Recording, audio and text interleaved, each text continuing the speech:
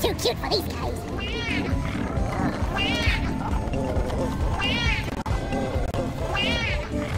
Loot bug. open!